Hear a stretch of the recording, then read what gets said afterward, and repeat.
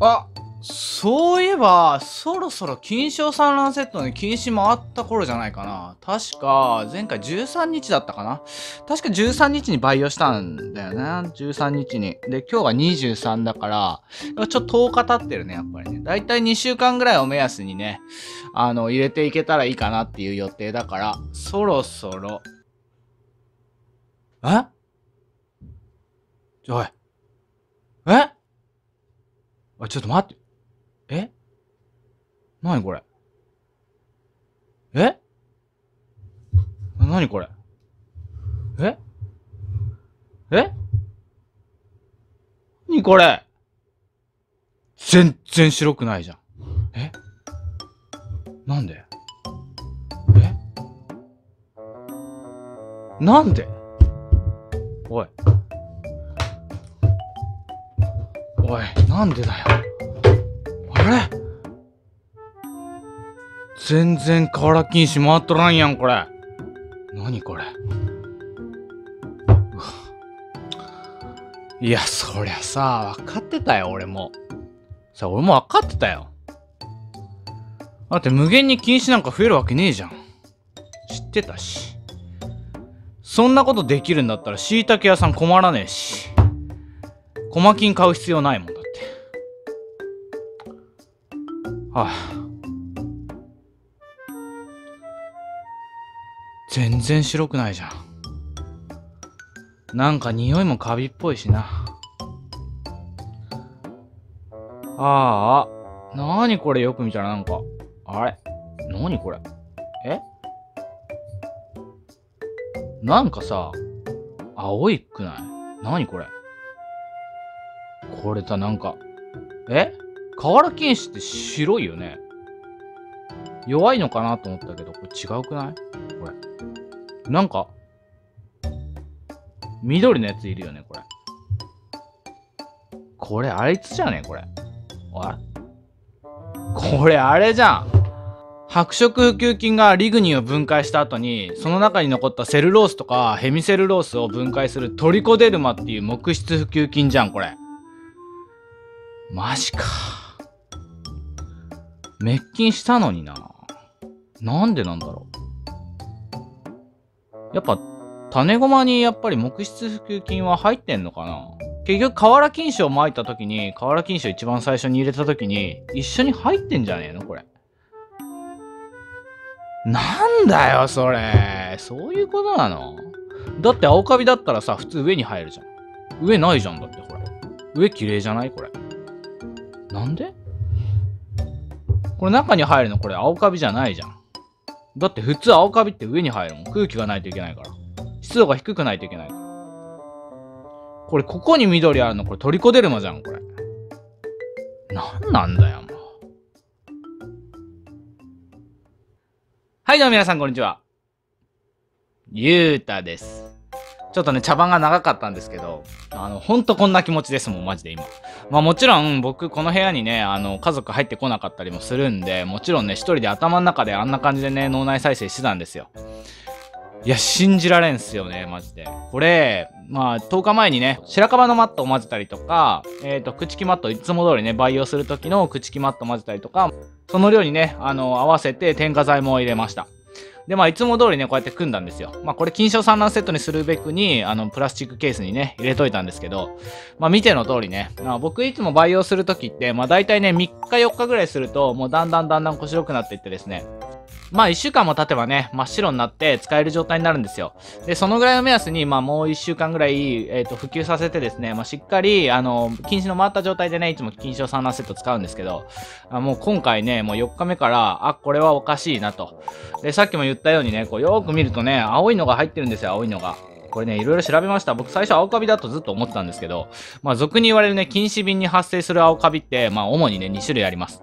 まあ1種類はパンとかね、小麦粉製品によく生えてくる、まあ、餅とかにも生えてくるよね。あの、青カビですね。あれ、良くないやつ。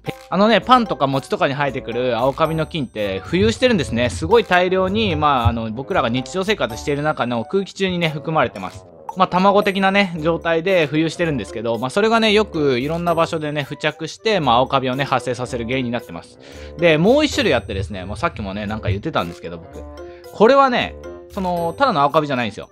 青カビっていうのは空気から降り注いでくるわけですね。まあ、だから、蓋を開けてるケースの中とかには、上から順にね、入ってきます。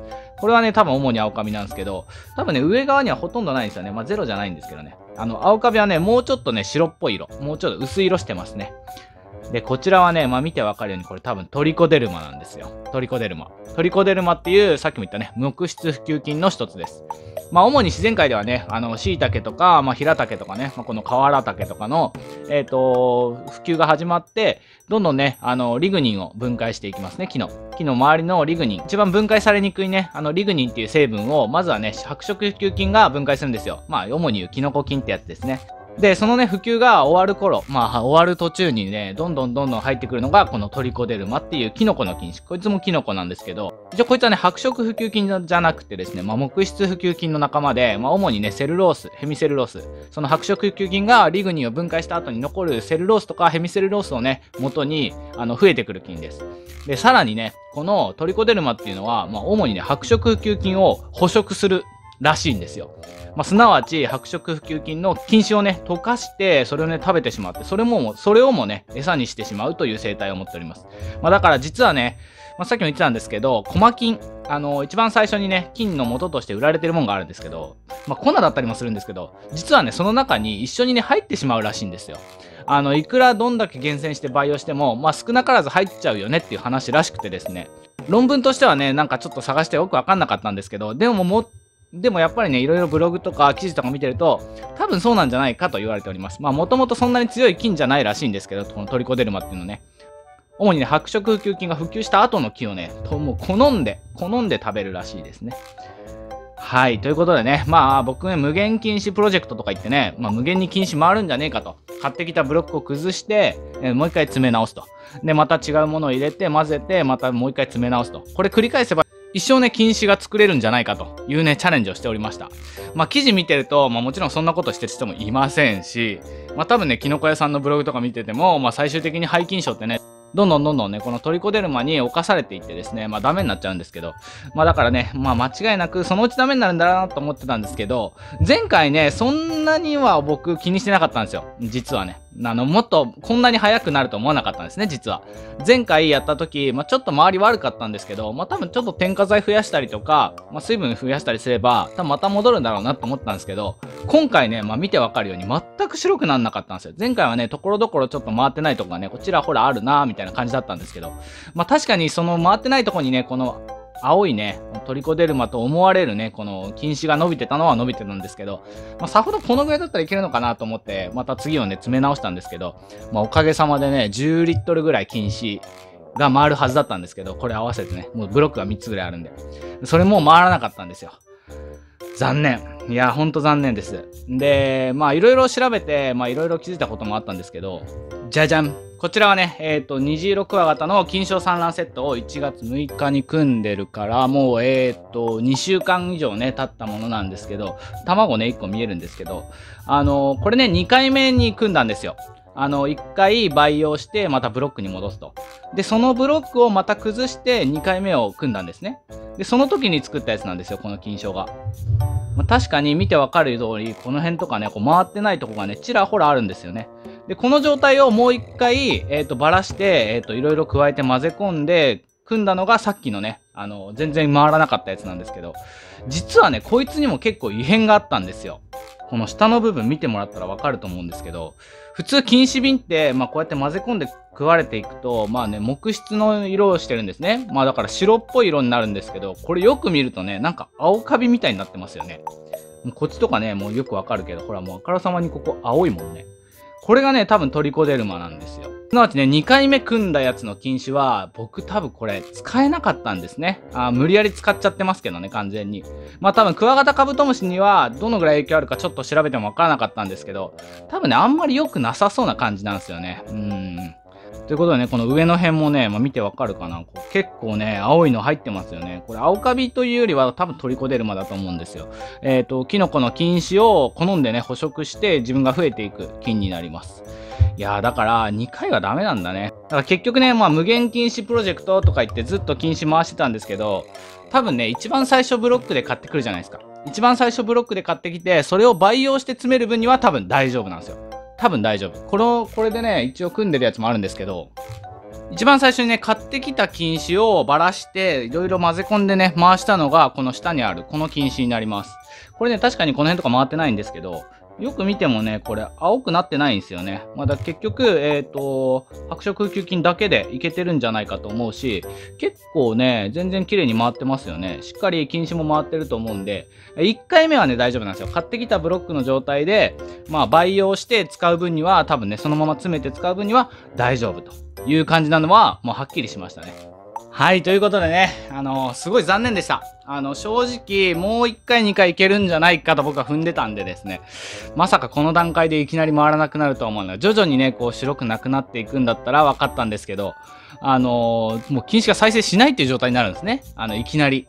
あの、3回目になるとですね、いきなり禁止が回らない状態になるんで、いや、残念っすね、マジで。ほんと残念。これはもう、えっと、一回レンチンしてね、この、一回まあ軽く殺菌してから、まあ、カブトムシのマットに混ぜ込んでね、あの餌として使おうと思います。いやー残念だった。ということでね、タイトル通り、あのー、今日は終了しましたと。僕の無限禁止プロジェクトは、一応今回で検証終了という感じになります。まあ、もちろんこの検証結果をもとにね、あの、もし見てくれてる方は、あの、やっぱ無限にはなんないなと。まあ、ゆうた頑張ったけど、やっぱ無限にはなんなかったなと思っていただければと思います。まあ、ただ逆に、まあ、3回目まで、2回目はいけるってことで、ね、2回目は一応金は回るんですよ。一応金は回るところまではいけるんで、まあ、しっかり気をつけてやれば、1回だけの培養であれば、多分いけるかなと。もちろん1回増やすだけで、まあ大体量で言うと1.5倍ぐらいになると思うんで、までは多分ね、大丈夫だと思うんで、僕は次からね、ブロックを買ってきて1.5倍に培養してから、えっ、ー、と、使う瓶とかにね、組んでいこうかなと思っております。はい。ということで、ね、いかがだったでしょうか？このチャンネルではね、こんな感じでクワガタカブトムシの、まあ、動画ばっかりを出しております。まあ、主にね、こうやってあの、餌の研究だったりとか、マットの話だったりとか、まあ、あの、飼育に関するね、ことを主に、まあ、知識とかね、まあ、小ネタとか、まあ、そういうものを中心に取り扱っております。もしね、興味ある方はぜひチャンネルページ見ていただいて、お気に入りだなと思った方はぜひチャンネルの登録の方、よろしくお願いします。で、まあ、禁止ね、今回終わったんですけど、またね、来月、どうせ僕もね、虹色の幼虫ちゃんが結構いるんでですね、また禁止瓶組まなきゃいけないんで、あの、たくさんブロック買ってきてですね、一応一度の培養だけをして、まあ、たくさん、えっ、と、1.5倍の量にしてね、禁止を使おうと思っております。まあ、その動画もね、しっかり出していきますので、ぜひね、そういうが気になるよという方もぜひチャンネル登録の方、よろしくお願いします。今日の話ね、非常に参考になったっていう方はちょっと少ないかもしれないんですけど、まあ、ちょっと面白かったよと思っていただける方はぜひね、グッドボタン、高評価の方もね、よろしくお願いします。ご視聴ありがとうございました。それではまた次の動画でお会いしましょう。バイバーイ。